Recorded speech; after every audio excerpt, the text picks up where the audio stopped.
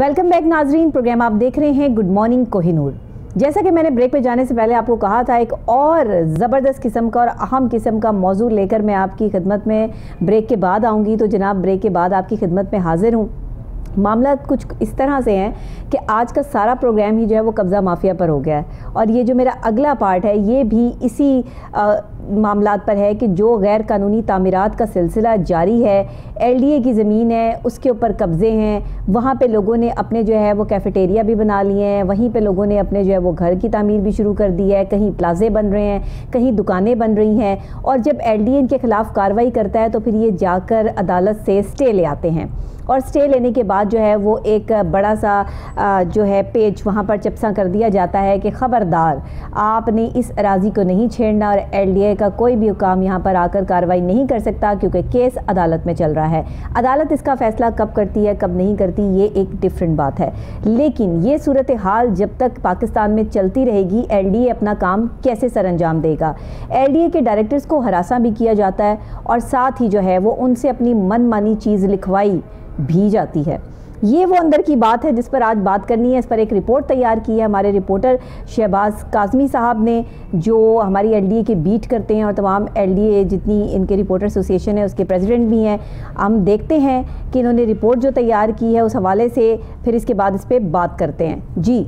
डीजीएलडी अमर अहमद खान की अला अमली और बड़े पैमाने पर गैर तमीरत के खिलाफ कार्रवाई से एलडीए के रेवेन्यू में इजाफा होने लगा है, लेकिन माफिया भी नए अंदाज से सामने आता दिखाई देता है। मेन जोहर टाउन और इसके इर्द गिर्द मुतलका एरिया में माफिया अपने पंजे कर रहा है, जहाँ भी जिधर भी नए गैर कानूनी प्लाजे, मार्केट, हाल, कैफ़े शादी हाल तमीर होते हैं। मालकान की तरफ़ से अदालती हुक्मनामा यानी स्टे ऑर्डर का सहारा लेकर डायरेक्टरों को तोहन अदालत के नाम पर डराया धमकाया जा रहा है और बड़े बड़े प्लाजे, तामीर किए जा रहे हैं। लेकिन दूसरी जानब करप्ट अफसरान भी माफिया से गठजोड़ करते दिखाई देते हैं। बाज़ात अपनी करप्शन बचाने के लिए अफसरान की तरफ़ से भी पार्टी को स्टे ऑर्डर का कहा जाता है, जिससे वो अपने डायरेक्टर्स को मशरा देते हैं कि कार्रवाई ना करें, नहीं तो तो इन्हें अदालत लग जाएगी। दूसरी तरफ़ लाभरान से स्टे ऑर्डर का भी पूछा जाए तो वो इस ऑर्डर से बेखबर होते हैं, क्योंकि इनका कहना है कि स्टे ऑर्डर वन विंडो पर जमा नहीं करवाया जाता, जिससे, जिस वजह से हम तक नहीं पहुँच पाता। इस सारे प्रोसेस की वजह से एलडीए को हर साल खसारे का सामना करना पड़ता है। नए आने वाले डीजी डीजीएलडीए को चाहिए कि इस तरफ़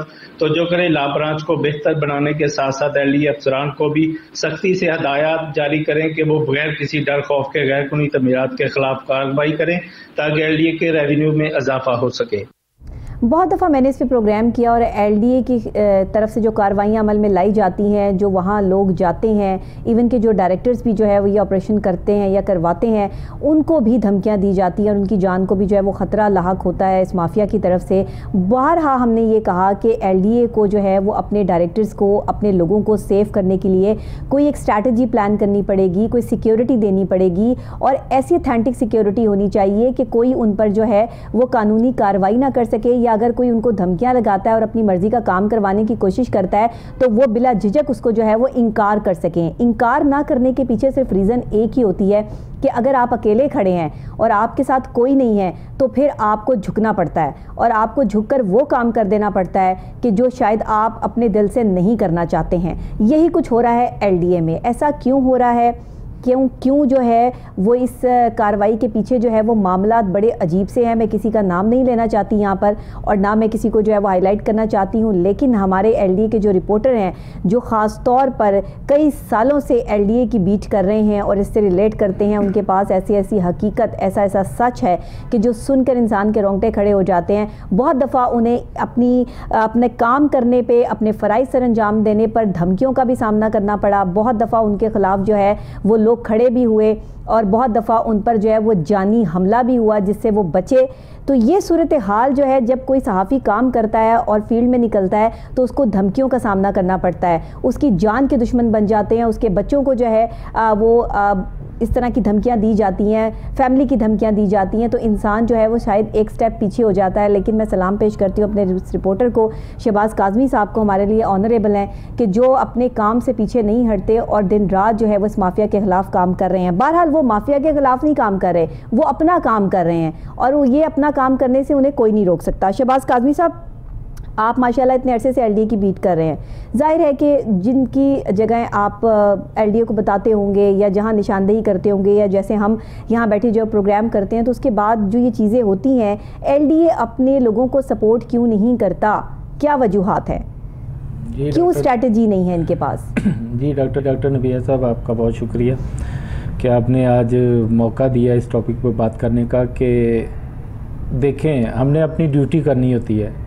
बिल्कुल। किधर गैर कानूनी प्लाजा बन रहा है कहीं पे मार्केट बन रही है कहीं पे लातादाद कैफ़े बन रहे हैं जी। वो भी बगैर नक्शे के। बिल्कुल।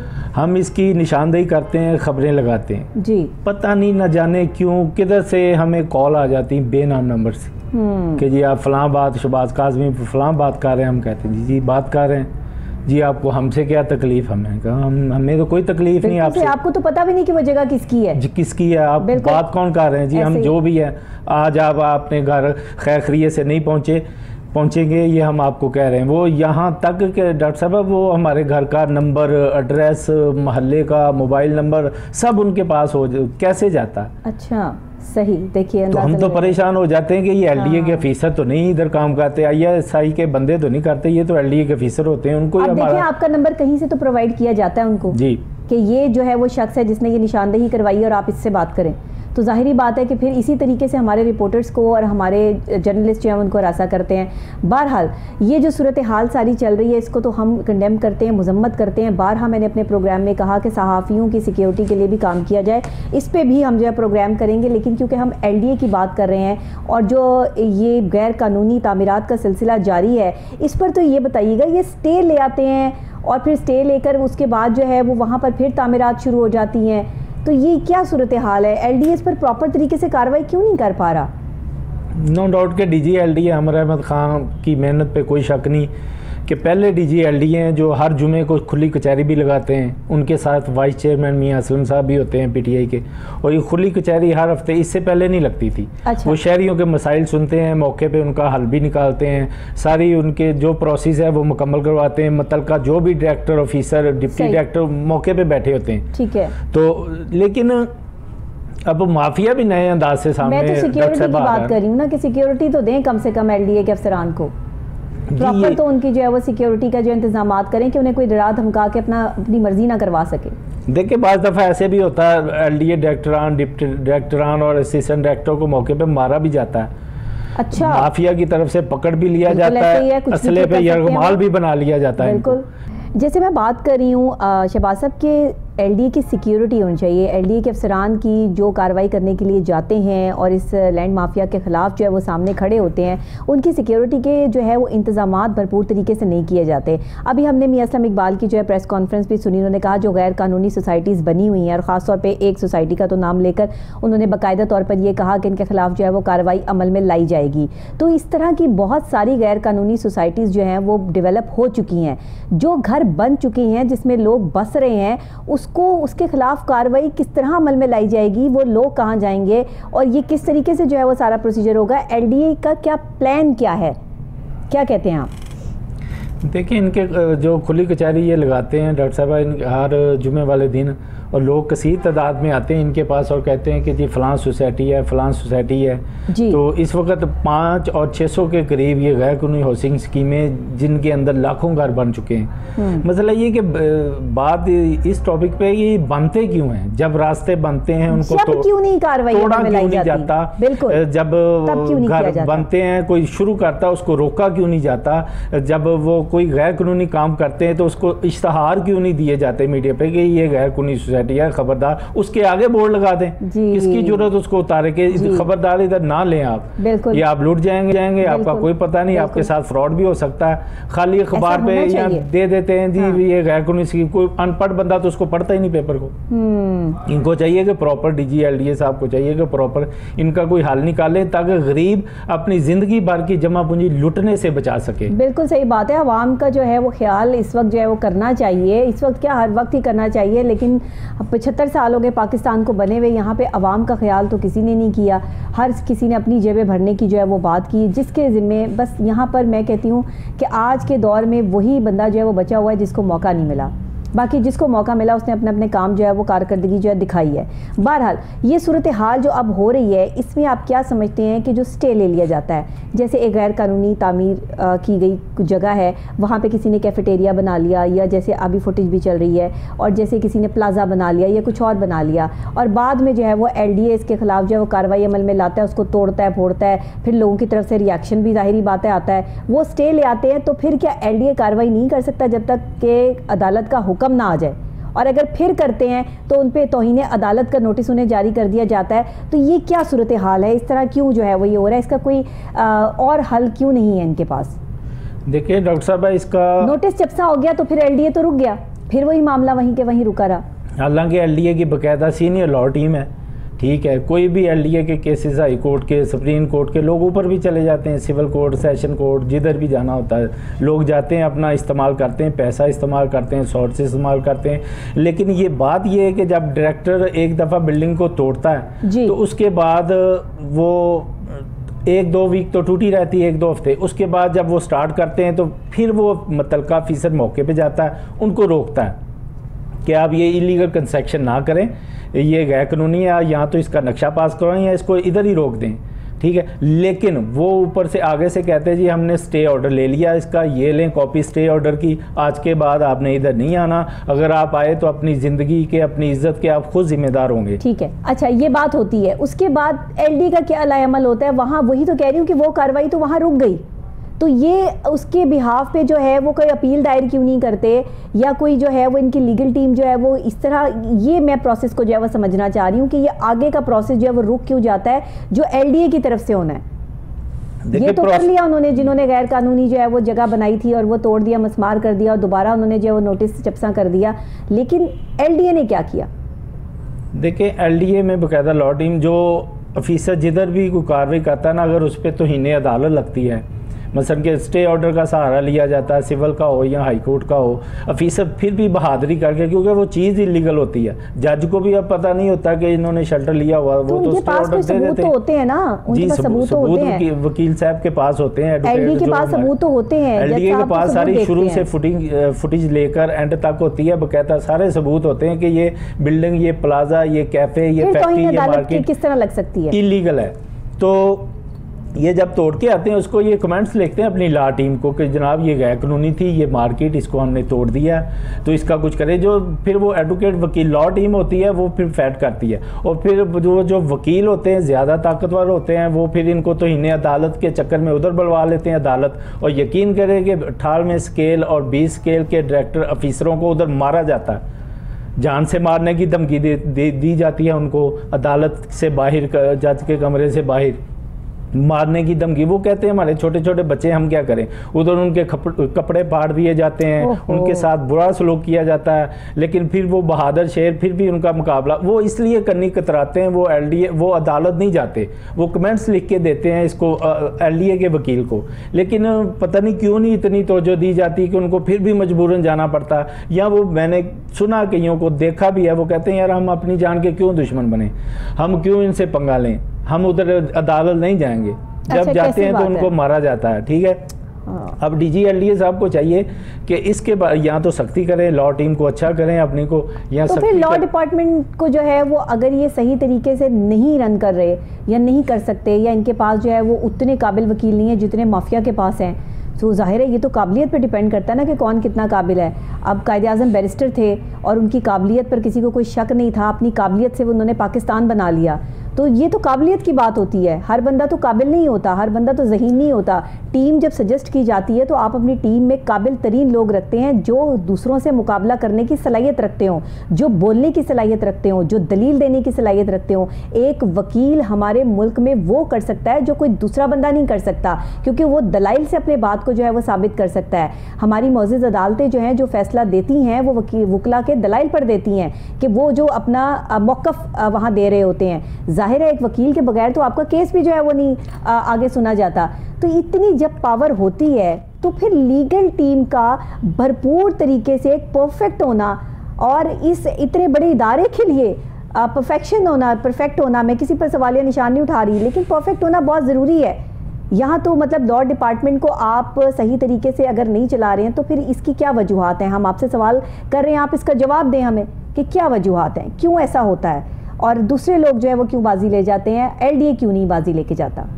आप क्या कहते हैं? यकीन करें कि मैं इधर आपको बताना चाहता हूँ कि अदालत जाना तो दूर की बात। ये लोग जो माफिया लोग हैं ये पावरफुल एक तो वकील करते हैं। गवर्नमेंट के वकील ज़रा आपको पता है अदालत के स्लो होते हैं। बैठते तो ये एक ही अदालतों में एक ही जगह तो पे सवाल है। यही तो सवाल है कि क्यों? पहले तो आपस में ये मिल जाते हैं। अगर ना भी मिले तो 10-20 वकील इकट्ठे हो गए डायरेक्टर डिप्टी डायरेक्टर के पास आके प्रेशर डालते हैं कि खबरदार आपको उधर आए तो मार दिया जाएगा, आप अदालत आए तो आपसे निपटा जाएगा। वो डर जाता है बेचारा। जब वो अपनी लॉ टीम को कहता है, वो कहते हैं, आप टेंशन ना लें, आप आए हाई कोर्ट आपको कुछ नहीं होता। जब वो बेचारा डायरेक्टर डिप्टी या सी से उधर पहुँचता, उसको मारा जाता बड़े बुरे तरीके से। चलें, ये तो अब जो भी मामला है, ये एलडीए को देखना चाहिए, लेकिन ये जो गैर कानूनी तामीरत हो रही हैं, ये इस पर एल को कोई हमत अमली तैयार करने की ज़रूरत है प्रॉपर तरीके से ताकि अपने अफसरान को भी जो है वो सेव किया जा सके और क्योंकि हम ये कोई एल डी ए के अगेंस्ट तो बात कर नहीं रहे हैं। ये तो ज़ाहरी बात है कि आपके हक में बात हो रही है लेकिन जो चीज़ें आप ठीक कर सकते हैं उसको तो ठीक करने की सलाहियत जो है वो इंसान में होनी चाहिए और ये कैपेसिटी है वो होनी चाहिए। थोड़ा सा बताना चाहता हूँ कि ये ज़्यादा हवाब जोहर टाउन में चली हुई है जिसके पास खाली प्लॉट होता है वो कैफ़े बना लेता है। और कैसे वो अब पैसे हाँ, एलडीए में जमा नहीं करवाता। डॉक्टर साहबा वो, वो वकीलों को दे देता है किसी ग्रुप को दे देता है जी ये मेरी बिल्डिंग आपने बनवानी है। वो तहीने अदालत के चक्कर में डाल देते हैं। बिल्डिंग नहीं रुकती बिल्डिंग बंद ही रहती। ऑफिसर बेचारा डरता उधर जाता क्योंकि इनकी सिक्योरिटी का भी कोई पता नहीं। पुलिस पाँच पुलिस वाले साथ होते हैं उनके हाथ में डंडे होते हैं। वो असले के आगे वो क्या कर लेंगे ये बताएँ। शहबाज साहब असल में बात यही है कि सिक्योरिटी चाहिए। इस मुल्क में रहने वाले हर शहरी को सिक्योरिटी चाहिए। तो और एलडीए के अफसरान को सिक्योरिटी चाहिए। ये बड़ा इदारा है।